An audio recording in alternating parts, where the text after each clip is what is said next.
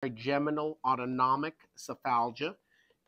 The important parts number one, it has to be trigeminal V1, V2, V3.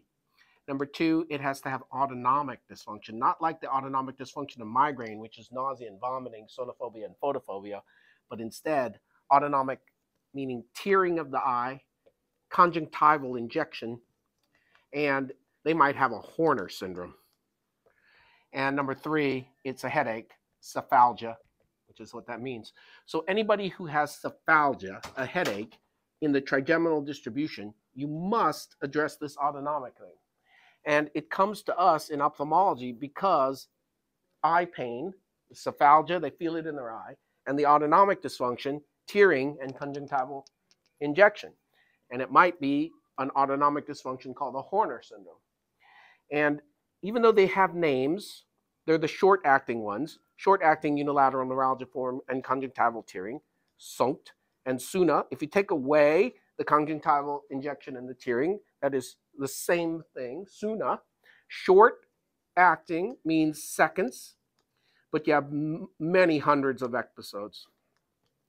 Then you have the same thing, a trigeminal autonomic cephalgia, but it's paroxysms, and it's hemicranial, one side only, moderate duration, moderate frequency, minutes at a time, and multiple episodes. That thing is called paroxysmal hemicrania.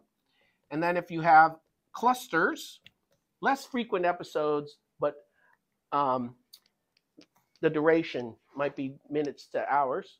That thing is called cluster headache. And that one, they pace around, more likely to be men, more likely to be triggered by uh, alcohol, and also might be alleviated by movement, which is the opposite of migraine. And if it's continuous and hemicranial, we call that hemicrania continuum but they're all TACs. It's just a matter of duration and frequency. So the more frequent and the shorter they are, the more likely they are to be the short acting ones. The medium frequency and medium duration, PH, paroxysmal hemicrania, and cluster headache, CH. And if it's long lasting but one episode only, continuous, that is hemicrania continua. The reason it's important is paroxysmal hemicrania and hemicrania continuum, part of their diagnostic criteria include the use of indomethacin, and a single dose might make it go away completely. In the past, the eponym Sluder neuralgia was used to refer to the TAC that affects the superficial, uh, greater superficial petrosal nerve and its input at the level of the sphenopalatine ganglion within the pterygopalatine fossa, and that thing is called Sluder, the eponym Sluder from 1908. And the reason that's important is you can reach the sphenopalatine ganglion, which is in the pterygopalatine fossa, with a block, either with lidocaine or just a cotton tip with lidocaine on it, can reach the sphenopalatine ganglion at the level of the pterygopalatine fossa and could block the autonomic dysfunction at that level, the Sluder neuralgia.